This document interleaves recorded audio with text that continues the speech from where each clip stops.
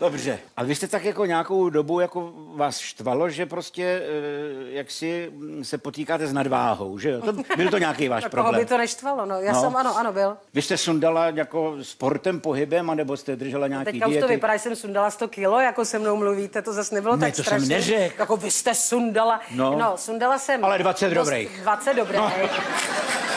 A bylo to proto, že se mně líbil jeden muž. Fakt, jo. A já teda nevím, jestli to se vysílá po 22. hodině. Samozřejmě. Tak. A, uh, Ale taky v sobotu dopoledne. tak nic. No jo.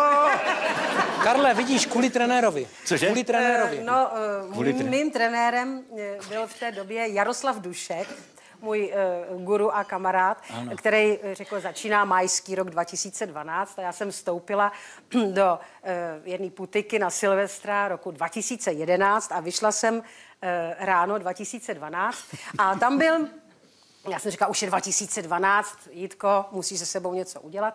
A tam byl majitel té restaurace, který se mě moc líbil. A já jsem, jak jsem pila, jak jsem říkala, je 2012, letos vás přefiknu. A odešla jsem. Přišla jsem domů, padla jsem tedy do postele.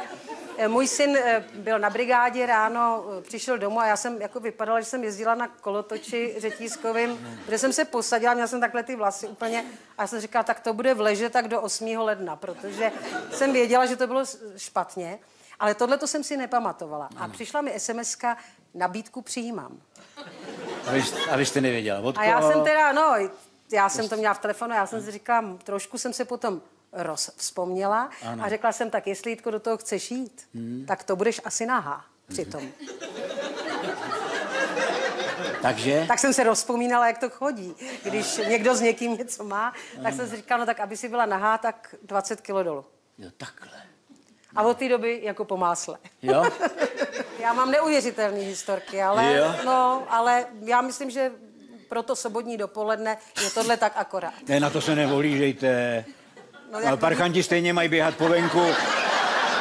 Co mají co dopoledne No, čumět na televizi. No. To je hlavně pro ty důchodce, co už je večer v pátek pro ně pozdě, chápete to?